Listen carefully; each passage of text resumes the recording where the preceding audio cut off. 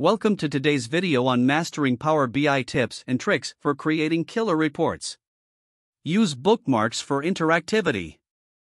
Bookmarks are a great way to add interactivity to your Power BI reports.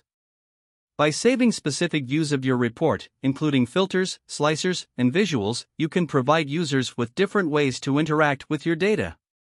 For example, you can create bookmarks for different regions or departments in your organization, or for different time periods, and allow users to switch between them with just a click. You can also add bookmarks to a navigation menu, making it even easier for users to find the information they need.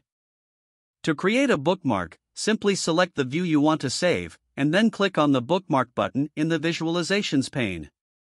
You can then give your bookmark a name and choose whether to include filters, slicers, and other visuals. Group data in visuals. Grouping is a technique for combining data into groups based on common characteristics.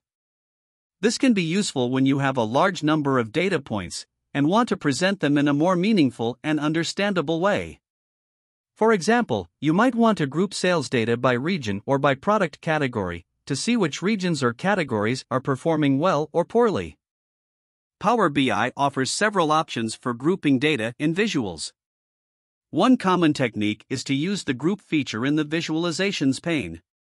To use this feature, simply select the visual you want to group, and then drag the field you want to group by into the group well in the Visualizations pane. You can then adjust the grouping settings, such as the group name and the order of the groups, to suit your needs. Another option for grouping data in Power BI visuals is to use the drill down feature.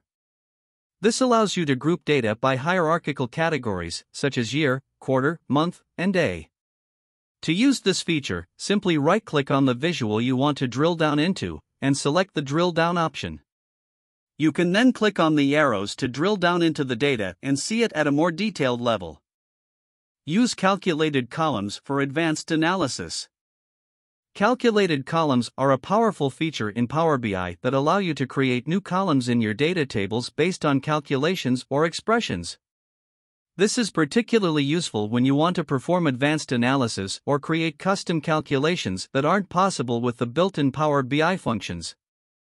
To create a calculated column in Power BI, you can use the New Column button in the Modeling tab, and then enter your calculation or expression in the formula bar. Calculated columns can use a wide range of functions and operators, including mathematical functions, logical functions, and text functions. Use conditional formatting. Conditional formatting is a way of changing the visual style of data based on rules or conditions. These rules or conditions can be based on the value of a field, the comparison between two fields, or even the value of a calculation. For example, you might want to highlight all values in a table that are above a certain threshold, or use color to represent the values of a metric compared to a target. Power BI offers several options for using conditional formatting. One common technique is to use the conditional formatting feature in the Visualizations pane. To use this feature, simply select the visual you want to format, and then click on the Conditional Formatting button in the Visualizations pane. You can then choose the type of rule you want to apply, such as color scale or data bars, and adjust the settings to suit your needs.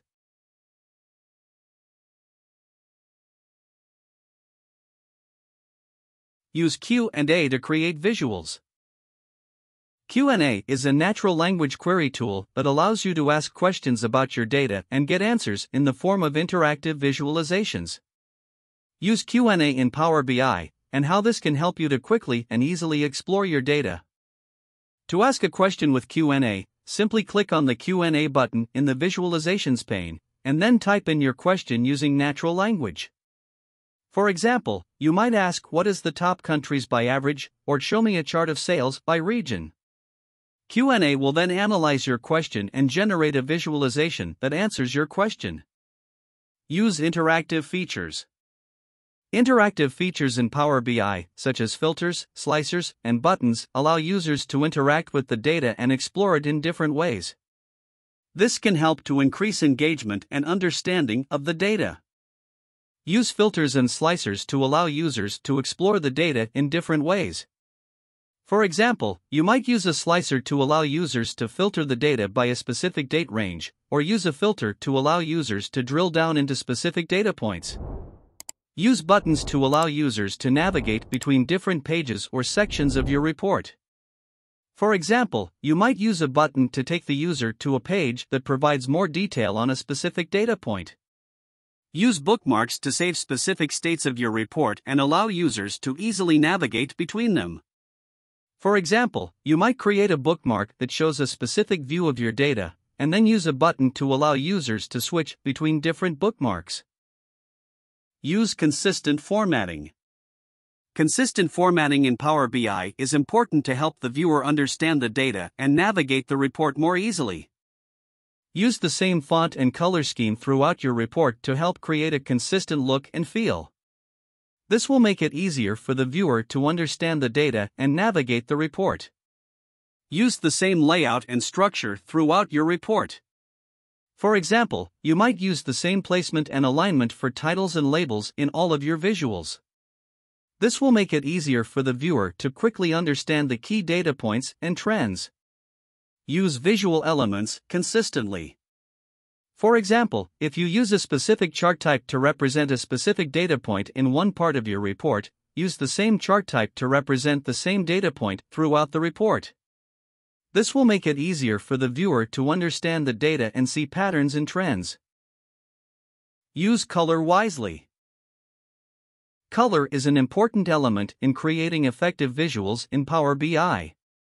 Using color effectively can help to highlight important data points, convey meaning, and make your visuals more visually appealing. However, it's important to use color wisely to avoid creating cluttered or confusing visuals. Choose a color scheme that works well with your data. When choosing a color scheme for your visuals, consider the data you are working with and the message you want to convey. For example, if you are working with a map that shows population density, you might choose a color scheme that ranges from light to dark shades of the same color. This will help to show the relative density of different areas without distracting the viewer with too many different colors. Avoid using too many colors. Using too many colors in a visual can create a cluttered or confusing look. Stick to a limited color palette to keep your visuals simple and easy to understand. For example, you might use shades of the same color or use a small number of complementary colors that work well together. By using color wisely in your Power BI reports, you can create effective visuals that convey your message clearly and make your data more visually appealing. Thank you for watching our video on mastering Power BI tips and tricks for creating killer reports. I hope these tips and tricks will help you use Power BI more effectively and efficiently. If you have any questions or comments, please leave them below. And don't forget to like and subscribe to our channel for more informative content.